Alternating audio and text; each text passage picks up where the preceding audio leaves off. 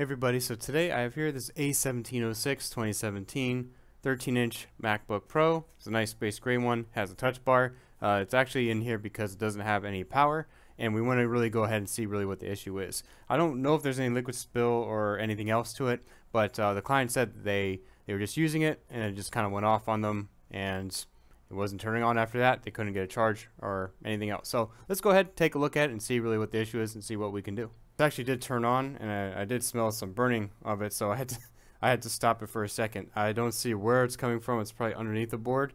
Uh, we're definitely going to need to go ahead and open up the board. I I disconnected the battery connection here just to make sure that there's no problems with that. And uh, I'm going to go open it up because I want to see really where that's that's causing damage. Man, you could really smell it. So let's go ahead, uh, open it up and take a look. I don't know where it's coming from, but I did smell it. It was really, really uh, potent, so you could really smell it. I don't think it's the battery. I do think it's somewhere on the board here.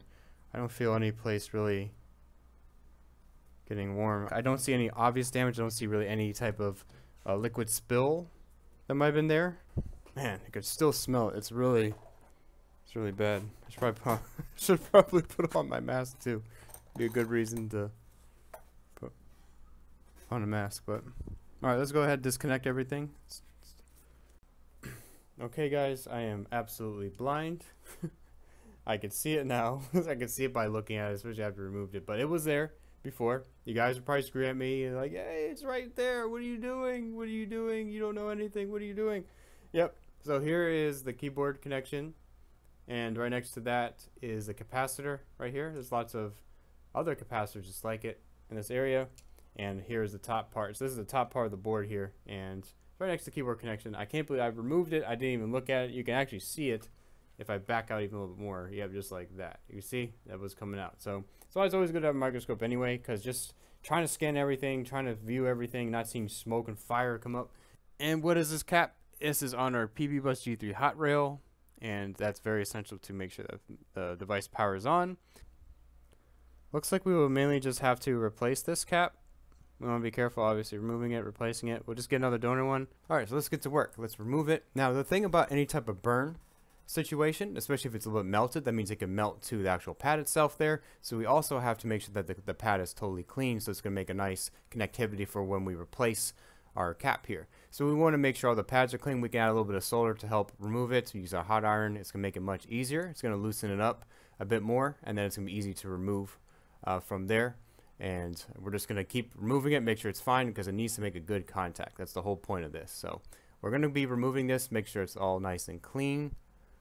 Make sure everything looks all nice and dandy here. Uh, if it's not clean it's not going to make good connectivity obviously. So we'll make sure the pad's absolutely perfect before putting it back on. And you can see this does a really good job too using a little copper wire with some flux is going to do also a good job to help remove the rest of it off because that burn is nasty and you want to make sure you get every little piece of it off. So now you can see it's clean. We can clean it with some alcohol, make sure it's good, brush it clean. Then we can make sure we put back on our cap there and make sure it's going to have a nice uh, connection. We want to be careful too because these caps around are actually a NAND, are part of the NAND flash there. We don't want to damage anything else powering the NAND flash. So that's really it, just a cap replacement there. Really lucky there's no other extra damage. So everything looks to be good. Let's test it. Alright, so I have it at least back to, well I guess I didn't put the battery screw in, so I guess I didn't do that yet. Let's put that battery screw in. I got everything else good, I think. I think it should be okay. Definitely want to test it too with it plugged in. See if it's going to give any problems. That was our problem area before. Let's go ahead and see what we get. See if it turns on. Alright. I didn't screw anything else in really, so we'll go at least partial the way up. I don't know if it'll boot on. Probably not. Usually you have to plug it in the first time. Let's grab our voltmeter and see what we get. Alright, so I have it here. Let's go plug it in. See if the house burns down. okay, we heard a chime, which is good. That means at least something's charging, it's recognizing. Oh. Oh, it's already on. Okay. Man, that thing would turn on fast. Phone area isn't getting that hot, and it did Im immediately turn on, which is a good thing. Um, we'll obviously just make sure we test it, always make sure there's no other issues with it, but it looks to be pretty good. There's not any issues over here, at least in this area, but you can see it's turning on. I'm going to show the customer's name, but it definitely turned on, which is good. Anyways, guys, I hope you guys enjoyed watching this video on on repairing the 2017 A1706 uh, MacBook Pro. If you did, please do like. Really does help us a lot. Really supports our small business grow. Please do that. Uh, subscribe for more content.